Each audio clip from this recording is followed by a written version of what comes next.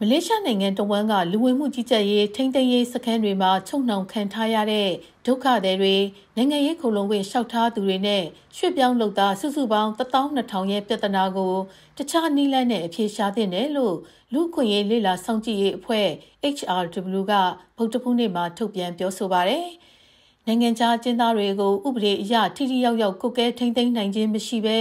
ကာလကြာရှည်ထိမ့်သိမ်းထားတာဟာ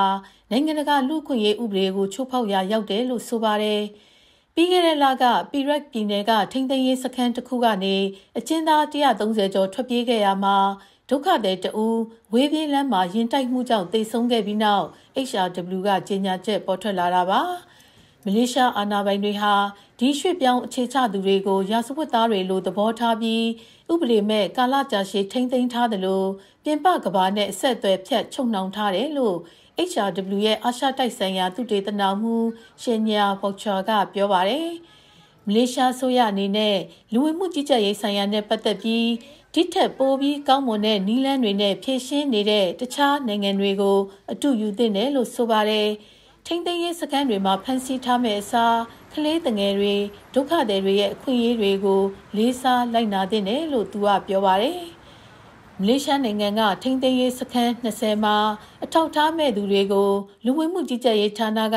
မူလတိုင်းပြည်တွေကိုပြန်မပို့ခင်အထိထိမ့်သိမ်းထားတယ်လို့ HRW ကဆိုပါတယ်။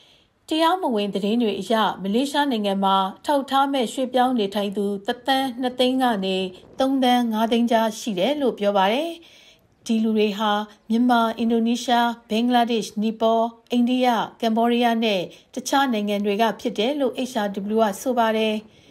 ဒီထဲမှာကုလသမဂ္ဂဒုက္ခသည်များဆိုင်ရာအေဂျင်စီ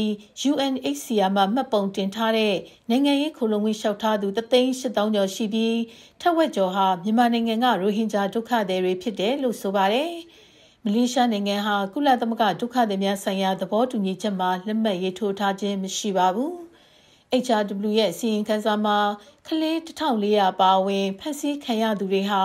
သူတို့ရဲ့အခြေခံအခွင့်အရေးတွေမရဘဲ မတရားနှိပ်စက်ညှဉ်းပန်းခံနေရတယ်လို့ဆိုပါတယ်။မလေးရှားပြည်ထောင်ရေးဝန်ကြီးစိုက်ဖူဒင်နဆူချီယန်ကတော့ထိမ့်သိမ်းရေးစခန်းတွေမှာလူအများကြီးထိမ့်သိမ်းထားပေမဲ့မတန်တဆပြစ်သိပ်ကြက်ညက်နေတာမဟုတ်ကြောင်းတုံ့ပြန်ပြောဆိုပါတယ်။ကလေးတချို့ကိုလည်းအချုပ်ခန်းကနေတခြားတင့်တော်တဲ့စခန်းတစ်ခုမှာတီးခြားခွဲထားတယ်လို့သူကပြောပါတယ်။ HRW ကတော့အဲ့ဒီထိန်းသိမ်းရေးစခန်းတွေမှာဖမ်းဆီးထားတဲ့သူတွေကိုကံကြောက်ရိုက်နှက်တာတွေတောက်သုံးရည်အလုံးလောက်မရတာတွေအပြင်ယောဂဖြစ်ပွားမှုတွေလည်းရှိနေတယ်လို့ဆိုပါတယ်။ဒီလူတွေကိုအိုးအိမ်တွေမှာနေရာချထားပြီးဥပဒေအရရတဲ့ရထိုက်တဲ့အခွင့်အရေးတွေကျန်းမာရေးစောင့်ရှောက်မှုနဲ့ပညာရေးအခွင့်အလမ်းတွေပေးဖို့လှုံ့ဆော်သင့်တယ်လို့ HRW ကအကြံပြုထားပါတယ်ရှင်။